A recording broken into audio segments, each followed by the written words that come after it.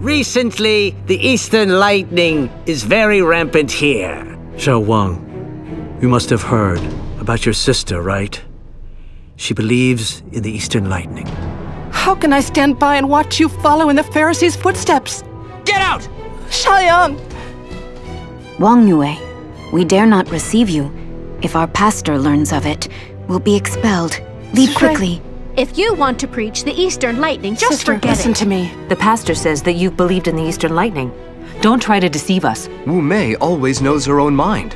How could she rashly contact the people of the Eastern Lightning? You're a wolf in sheep's clothing! How dare you come here to steal sheep!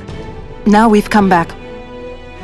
Only to tell the brothers and sisters the news that the Lord has returned so they can know. If we have different opinions, we can discuss and debate it. Then won't it be clear who's right? Such a debate is very necessary. The brothers and sisters can gain discernment from it and avoid being deceived. The way that accords with the Bible is the true way. Any belief that departs from the Bible is a heresy. Amen.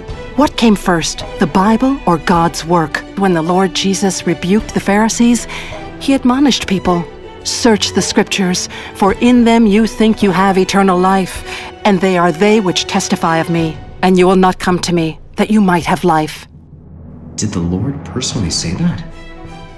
If only you read the Bible, can't receive eternal life. Pastor Liao, regarding the question we are discussing today, let's read Almighty God's words. No one is clear about the real state of the Bible. Only if we come out of the Bible and accept the truth God expresses can we gain the truth and receive God's salvation.